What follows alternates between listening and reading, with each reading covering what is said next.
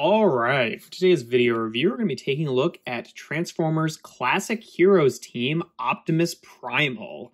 Uh, yeah, the uh, the Classic Heroes team is basically a, a subline of the Rescue Bots Academy toy line, so you know, more or less just little simple uh, transformation preschooly type transformers. And yeah, this is the only uh, only Rescue Bots Academy type figure that I have.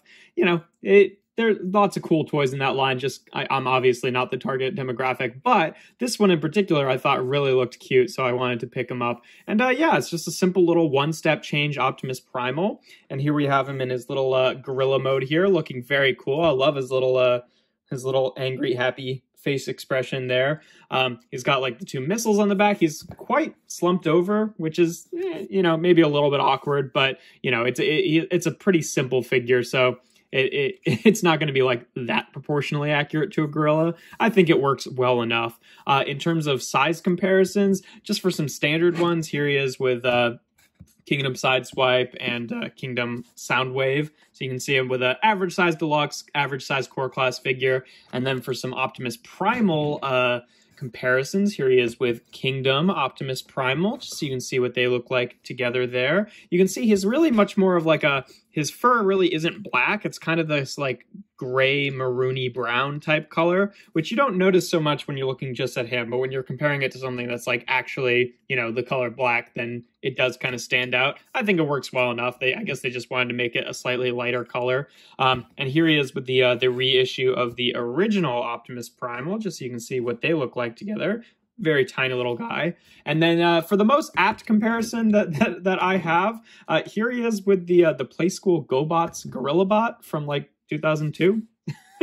I've literally had this figure since I was a since I was a kid, and uh, yeah, kind of a similar vibe there of uh, basically just a little one step Optimus Primal equivalent. They don't call him Optimus Primal, but that's more or less uh, more or less who he is. But yeah, uh, for transformation, it's uh, very very simple and kind of fun actually. You pretty much just take the arms and then you spread them out this way.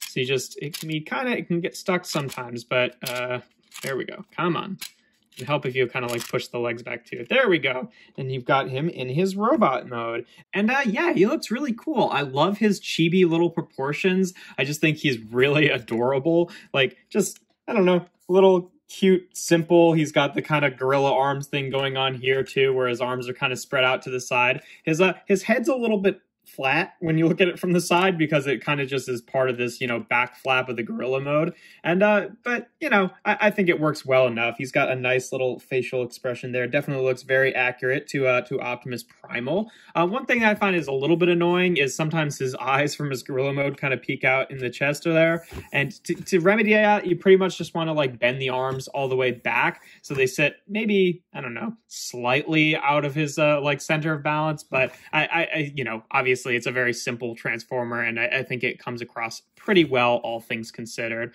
obviously there's no real articulation in this mode i mean unless you're counting like just going back into gorilla mode and it's really that easy i do find that it's like it, it gets stuck a little bit more sometimes when you're going to robot mode, but gorilla mode is always very simple. It's just like turn the arms in and there he is. Whereas sometimes, you know, that kind of happens where you get stuck there and like it, it can kind of help if you're like, you know, forcing the this hinge to kind of go to because it's really that his face gets caught on like the chest piece or something like that. But it, it is a little annoying that that's not easier since like that's kind of the whole fun of this guy. But you know that's not a huge deal, all things considered. Um, uh, I will say I am a little bit worried about some of the longevity of this because like in terms of the transformation, the face here, which I'm fairly certain is painted. I well, actually, I don't know. It might be a different part, but it, looks like the the gray of the face is painted. And when you do transform it, it really does rub up against the inside of the chest plate here. And I think the the paint on the head also kind of bumps into stuff too. Sometimes when it's like going back into robot mode. So like, I, it could kind of scratch away some of that stuff eventually, like if you do it too often, which is not the biggest deal in the world, especially since it is kind of just like a, you know, Playskooly transformer. But, you know, if it was engineered in a way where they weren't rubbing the paint against, you know, like other plastic bits, that probably would have been better. But, you know, not really that big a deal, just worth mentioning. Um, he does have some slightly hollow bits, like if you look at him in gorilla mode and look at the uh, the back of his arms here, they are very uh very cavernous, which you don't ooh, dropping him all over the place here. Uh, you don't really notice from most angles unless you're literally looking at him from behind in gorilla mode, because in robot mode they end up kind of you know facing the inside of the body, and the hands are a little bit hollow here, but eh, whatever. And then the feet are just like a big cavity, but that's okay because you know you have him standing on the ground, so who even sees the underside of the feet? But uh, yeah, in terms of comparisons, here he is again with Sideswipe and Soundwave for the standard one. So you know somewhere in between a core class and a deluxe, pretty pretty small little guy. Um, here he is again with Kingdom Optimus Primal, and here he is again with the uh, the reissue of the original Optimus Primal, who you can't see nearly at all. There they are.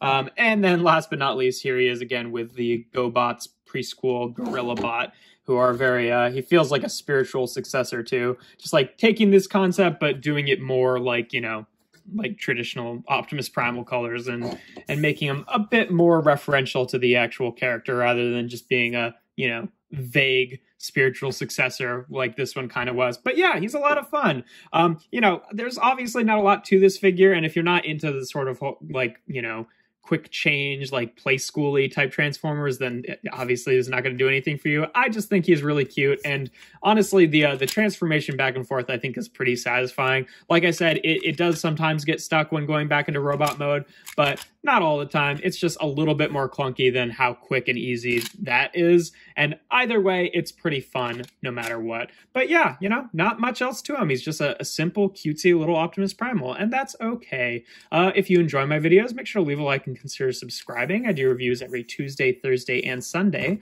And without further ado, here we have Transformers uh, Classic Heroes Team Optimus Primal.